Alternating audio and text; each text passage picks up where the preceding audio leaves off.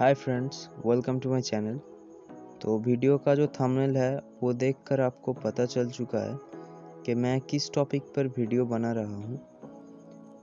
तो आज का जो टॉपिक है, वो है कि how to hold a pencil तो मैं इस पेंसिल को साइड पे रखता हूँ और इस पेंसिल से मैं दिखा रहा हूँ कि कैसे हमको एक पेंसिल को होल्ड करना चाहिए।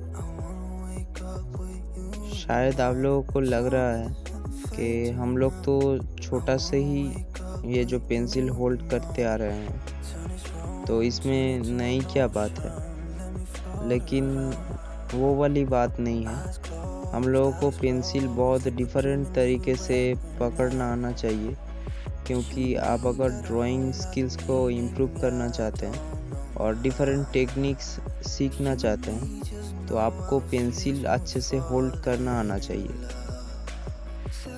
और मैं यहाँ पे एक मार्कर के मदद से दिखा रहा हूँ कि पेंसिल में कितना होल्डिंग पॉइंट होता है और वो जो पॉइंट है, वो मैं मार्क कर रहा हूँ। आप यहाँ पे देख सकते हैं।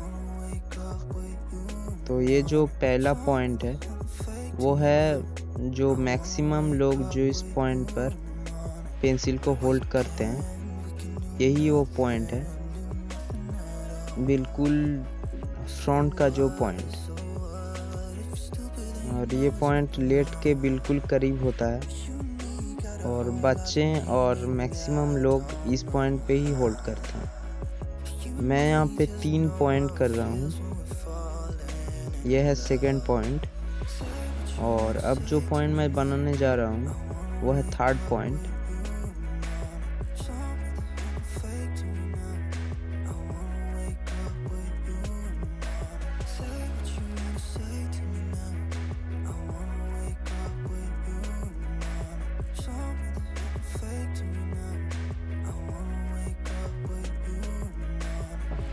तो मैं यहाँ पे बिल्कुल पॉइंट नंबर वन पे इस पेंसिल को होल्ड कर रहा हूँ और शो कर रहा हूँ कि कैसे इसका जो इफ़ेक्ट है, उसको हमें देखने को मिलता है। ये देखिए, आप देख सकते हैं। तो ये जो लाइंस मैं खींच रहा हूँ, ये लाइंस बिल्कुल डार्क और एकदम शार्प है। इससे हमें पता चलता है कि ये जो पॉइंट है, इस पॉइंट से हमको, जो आउटलाइन है, वो हमको करना नहीं चाहिए। ये पॉइंट सिर्फ़ राइटिंग और शार्प ड्राइंग के लिए यूज़ होता है। और पेंटिंग का आउटलाइन के लिए ये बिल्कुल भी नहीं यूज़ करना चाहिए। और पेंटिंग का जो आउटलाइन है उसके लिए आप ये पॉइंट यूज़ कर सकते हैं। ये जो सेकंड वाला पॉइंट है सेकंड वाला होल्डिंग पॉइंट का यूज़ करके आप आउटलाइन खींच सकते हैं। क्योंकि इससे जो लाइंस बनता है, ये बहुत ही लाइटर होता है। तो ये जो सेम ग्रेड का पेंसिल आपको डिफरेंट होल्डिंग जो पॉइंट है इसके लिए आपको डिफरेंट डिफरेंट कलर्स में अवेलेबल हो रहा है। आप देख सकते हैं, कहीं पे डार्क और कहीं पे लाइटर शेड्स हमको दिखने को मिलता है। ये जस्ट आपको जो पकड़ने का जो पॉइंट है, इसके लिए ये चीज़ डिफर कर रहा है। तो अब आते हैं ये थर्ड पॉइंट पे। और ये जो थर्ड पॉइंट है ये आउटलाइन करने के लिए यूज़ नहीं होता है। तो ये जो थर्ड पॉइंट है, ये हमको सिर्फ़ लाइट शेडिंग के लिए ही यूज़ आता है। आप यहाँ पे देख सकते हैं, ये बिल्कुल थर्ड पॉइंट है। और हम इस तरीके से भी इस पेंसिल को होल्ड कर सकते हैं। मैं जिस तरीके से दिखा रहा हूँ, ये भी एक होल्ड करने का प्रोसेस है। और इससे आपको बहुत ही लाइट शेड मिलेगा, जिससे आप बहुत ही बड़ा एरिया को एक साथ शेड कर पाएँगे, जिससे हमको बहुत ही रेगुलर लाइट शेड मिलता है।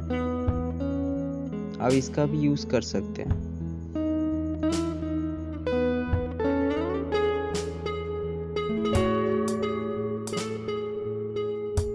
और ये वाला जो होल्ड करने का प्रोसेस है इससे आपका जो व्यू पॉइंट एरिया है, यानी कि आप जिस एरिया को आप देख पा रहे हैं, उस एरिया को बढ़ा देता है।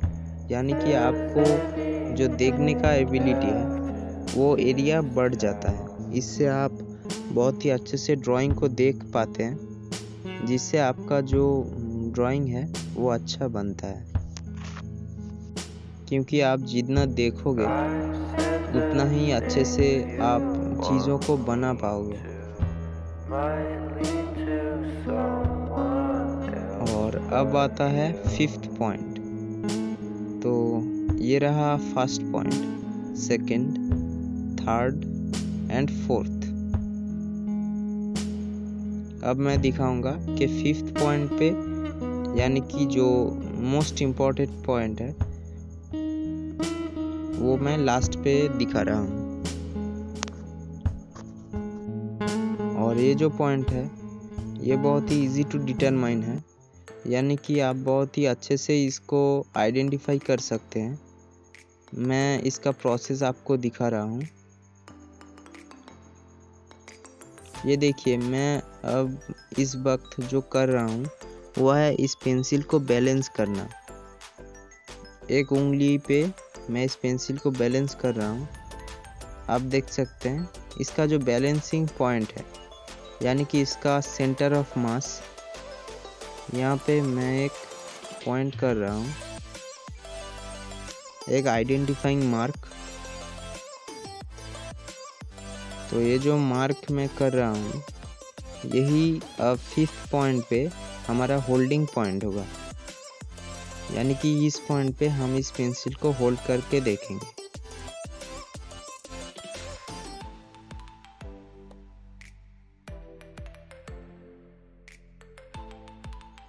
तो हम जब इस पेंसिल का सेंटर ऑफ़ मास पे हमारा होल्डिंग पॉइंट करते हैं, तब इस पेंसिल का जो रोटेशन है, ये बहुत ही बेहतरीन होता है। और इस रोटेशन का यूज़ करके हम बहुत ही लार्जर एरियाज़ को शेड कर सकते हैं। और हम सर्किल भी बहुत ही इजी तरीके से बना सकते हैं। मैं आपको दिखा रहा हूँ कि कैसे ये जो पॉइंट है, ये बहुत ही अच्छे से रोटेट हो रहा है।